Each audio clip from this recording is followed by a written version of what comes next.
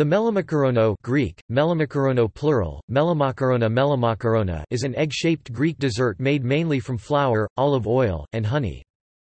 Along with the kourabies it is a traditional dessert prepared primarily during the Christmas holiday season.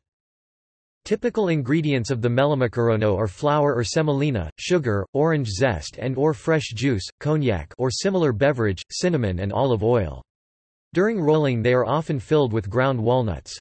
Immediately after baking, they are immersed for a few seconds in cold syrup made of honey and sugar dissolved in water. Finally, they are decorated with ground, as well as bigger pieces of walnut. Dark chocolate-covered melomakarona are also a more recent variation of the traditional recipe.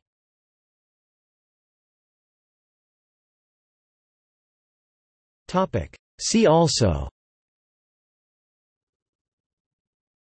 Loukoumades Kourabies